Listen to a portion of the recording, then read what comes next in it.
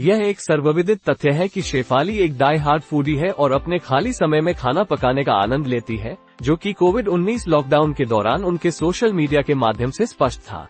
बेशक hospitality industry में आने का आइडिया उनके दिमाग में हमेशा से ही था।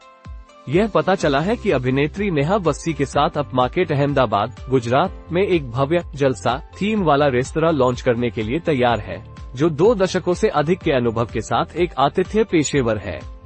डॉट, जलसा शेफाली के लिए प्यार और जुनून का काम है। हर तत्व के साथ, सजावट से लेकर कटलरी तक, रेसिपी से लेकर प्रस्तुति तक, व्यक्तिगत रूप से देखभाल की जाती है और अक्सर व्यक्तिगत रूप से निष्पादित की जाती है। शेफाली भोजन और आतिथ्य की दुनिया में मानवीय अनुभव के पोषण और आराम देने वाले पहलुओं की अपनी सहज समझ लाती है।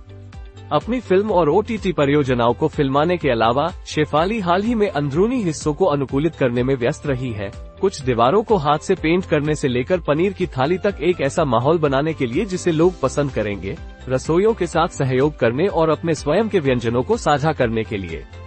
प्रत्येक महल के लिए, हालाँकि बहुमुखी अभिनेत्री को पूर्णतावादी होने और अपने रचनात्मक विकल्पों की मांग करने के लिए जाना जाता है, लेकिन उनके नए उद्यम को आतिथ्य उद्योग में एक अनूठी अवधारणा माना जाता है।